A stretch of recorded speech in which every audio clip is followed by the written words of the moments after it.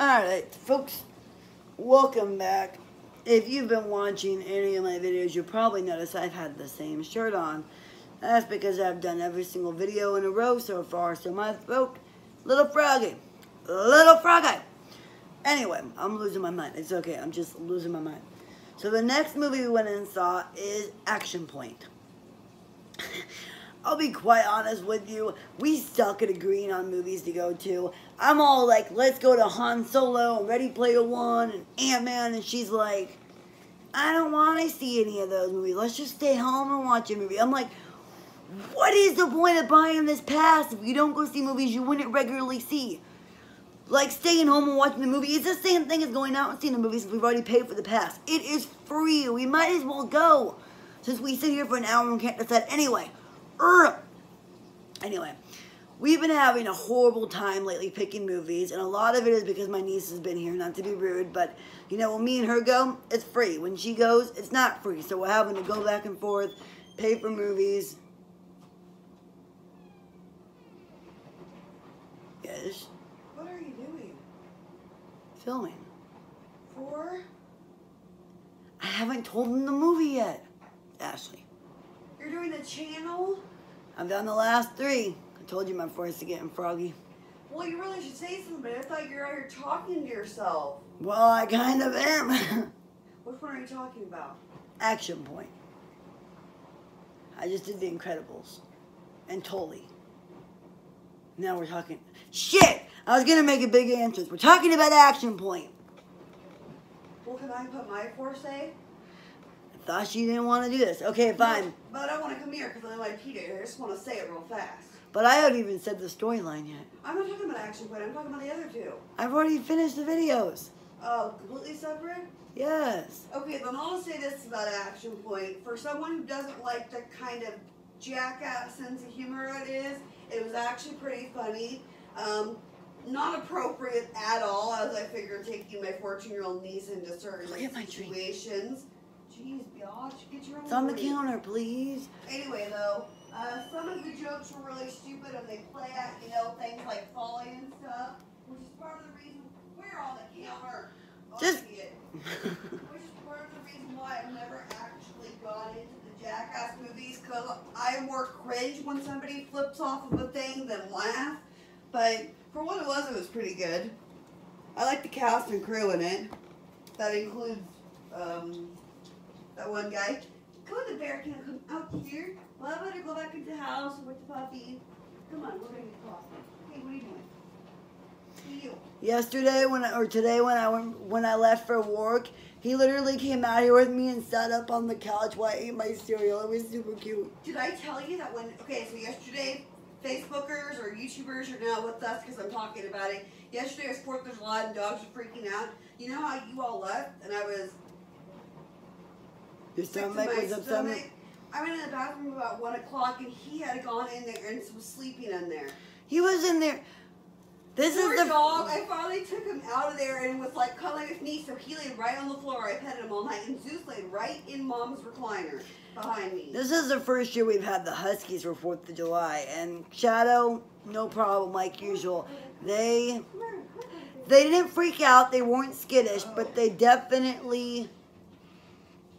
She's having to scoot him on the hardwood floor to get the door closed. Jesus, be careful. But they definitely were homebodies. They, my mom doesn't like fireworks at all. Like, doesn't like fireworks, so thought I heard him cry. Jesus. She doesn't like fireworks, so she stayed in with the dogs. But yeah, they were pretty much their heads and bodies were right against us the entire time. They did better than I thought they were going to. They seemed to freak out the last two nights when one or two of them went out, so I really thought it was going to be a bigger problem. But they did pretty good. But anyway, back to the review. So, Action Point. Like Ashley said, it is a movie with the same guy that does Bad Grandpa and Jackass and blah blah blah blah blah blah. And I can't remember his name. I'm sorry. God, what is his name? Anyway, we ended up going to the movies and we missed. We were the point. The plan was to go see a movie and we couldn't decide. And there was like three different movies playing at the time. It was Action Point, I Feel Pretty, and something else. Overboard. And we were going to Regal 10 and they were playing older movies and we just I was like, okay, we got it. We had it narrowed down to I feel pretty and action point because I don't really like over that type those type of movies like Overboard and I never saw the original and I didn't I don't like Anna very much so I didn't really want to go see the new one. So we were like, what type of movie do you want to see? Well, Ashley was like, I don't care because she doesn't like this. I knew she didn't like this type of movie. Becca was like, I'd rather laugh than have a drama or be scary because the other one we were going to see is the movie we saw next time, which I'll explain in this next video. Anyway, so we ended up settling on Action Point, and basically it is to that type of story. That same young guy in the old man outfit talking to his grandkid and tells the story about Action Point, a theme park that he had opened up that basically got him pretty good money. All the locals that could go there, kids loved it. You know, it was keeping him employed, keeping a job there. He got a family out of it because of the fact that he grew so. His brother worked there, and he grew so close with the workers, and then. You know, stupid, stupid shit started happening. Obviously, they show some weird stuff in there, like it's not super appropriate like Ashley said this so there were like some scenes where like they were doing stuff in the theme park like they shouldn't and like getting hurt and stuff and if you saw Bad Grandpa and Jackass it's pretty much that style movie but I really did like the movie. The movie plot was basically there was another theme park that opened up and across the way and it was like a Six Flags or something that had like I mean his his theme park was really like on a mountain hill. It was like a muddy hill like like it was like one roller coaster, like that ropey one that pulls you along and you kind of move in a circle. It was like a slide that went down a hill, but it was only like 20 feet long. There was just a slide. It ended up in like a muddy pit at the end. There was a river, so you could do like a rope swing into the river and like the big balloon, the thing you like jump on and bounces you up. You know, there's more river fun activities, I think, but there wasn't much there. And this new theme park moves in really close and he starts losing business. Then you meet the villain of the story who basically wants him to sell the property so he can have the property and make this other theme park bigger because he was the one that basically sold them the property. So he's trying to take it from this guy to give it to these guys so they can expand their theme park, even though his theme park is there. And the movie kind of goes along with his daughter's in town and, you know, he's putting so much attention into this theme park that towards the end his daughter runs away.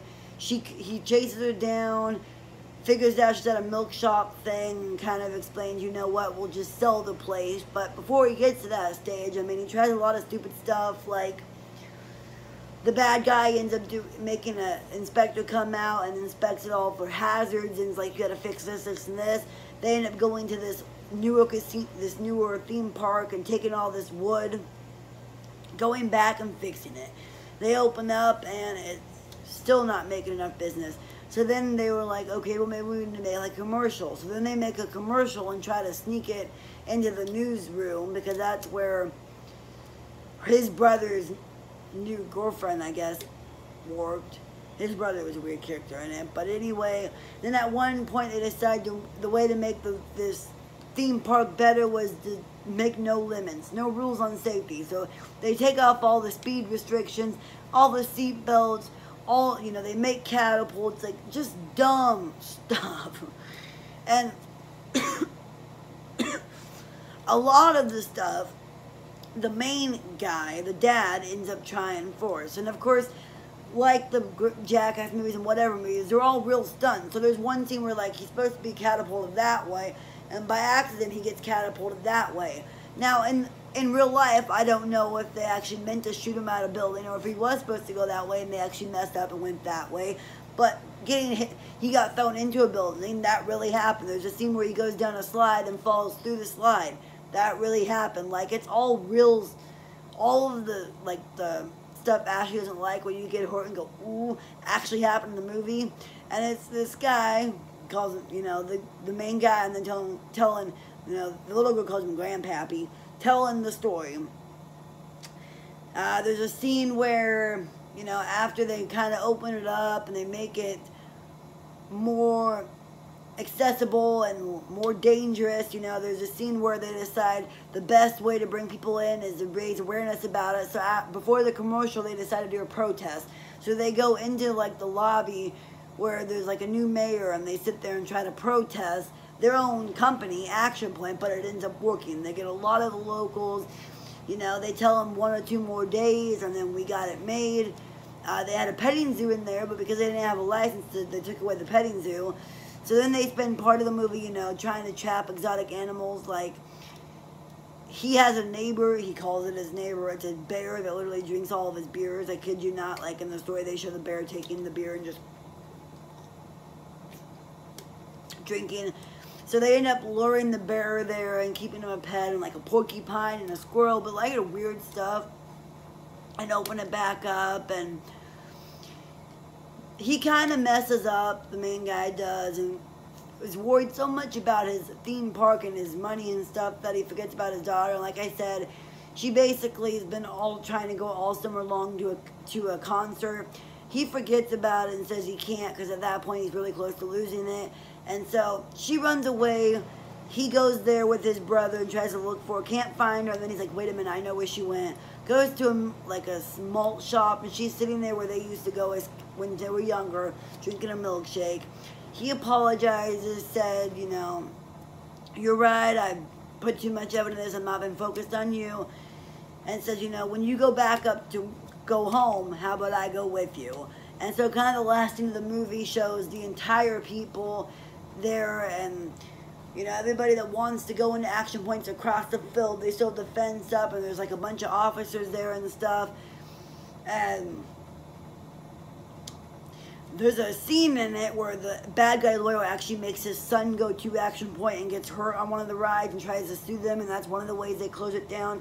And so in this last scene he signed over the deed of the property and he's like yep everything's yours lawsuit, blah, blah, blah, blah, blah, blah, everything. It's all yours and gives it to you. Well, then he opens up gate, you know, one last day for action point, and everybody just comes running. All the locals that have been going there for years comes running in, and they just start destroying stuff and rioting and destroying stuff and hackling him, and they won't leave. And you know, it's it's kind of funny. It's a just dessert thing. The last scene of the movie, they decided to shoot off a bunch of fireworks at the park. They're sitting on top of like a shed at the edge of the park watching, and they shoot too many fireworks and kind of blow up the whole damn thing. And they show him taking back his daughter and the brother and the brother's girlfriend going with them and they all move. I don't remember where she moved, where she was from, but they moved to where the daughter lives. And of course, in this story, they're talking in the background behind all this. He's talking to his granddaughter about what him and his him and her mother did at the end of the movie, her mother comes into it, you know, and sees all these pictures that she's been taking of him because while he's telling the story, he hasn't changed. I mean, he flips himself once and nearly breaks his back. He almost sets his face on fire. Like, she's looking at all these photos and, like, yep, yep, and laughing. And then the last scene is kind of a nice family moment where she, you know, he was like, Of course I came back. I had to be here with my daughter and my granddaughter now, and the movie kind of ends. And losing my voice.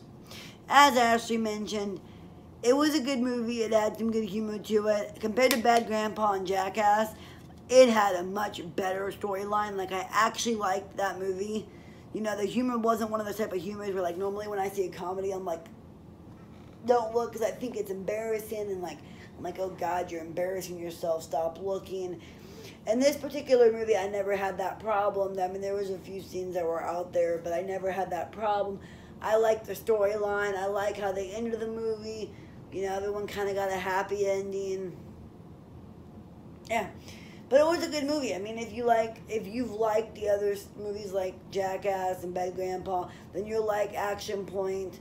Um, like I said, it definitely had more of a storyline. So I think for people like me and Ashley who don't particularly like Jackass and you know that type of comedy where they always hurt themselves to try stupid stunts, it kind of was half way in between both worlds to make us happy.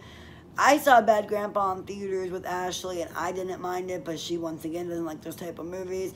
I definitely like this one better than that. I think the crew did a better job on this one, but if you haven't seen it, I'm not going to say go see it in this one. I liked it and all, but this is definitely acquired taste. It's definitely adult taste. And it's definitely acquired taste. Like I said, you really just if you like, if you know you like stupid comedies or comedies where people get hurt, you know, my older sister has a twisted sense of humor. If someone like literally gets hit on the head or something, she will bust up laughing. Somebody like that will enjoy this movie. You know, me and Becca kind of, well, the whole family kind of has that sense of humor. Like, I don't laugh as much, but my niece, my sister's daughter, has that type of sense of humor. She's just busting up the whole movie. I mean, there's enough humor in that movie, even if you don't find that stuff super funny, with other stuff that it made it worth it. So if you like humor and you're not super worried about a PG clean movie, then go see it. Um, like I said, not super clean. There was dirty jokes, there was sex jokes, there was sex scenes in it. I mean, it's definitely not a kids movie, even though it's about a theme park. But it was a good movie. I liked it. I liked the cast. Good story. Yeah. Go see it. On to my next review. I'm going to not be able to talk by tomorrow. Not in Smile Boys. Okay, I'm done. This is making me dizzy. But go see that movie. Get off your butts and go see a movie. I'm getting so sick of not seeing a movie because my niece is here. I finally gave up cigarette smoking. You know we smoke pot. You know it, so I'm not going to keep a secret from you. We do. I haven't been able to smoke because my niece is here. And now, because she's here, I can't go see movies. It's like five of them I want to see right now. And I can't because I can't pay for them. When I go without her, she just gets pissed off. My rant's over. Go see that movie if you like those type of movies. I'll see you in the next video. Goodbye.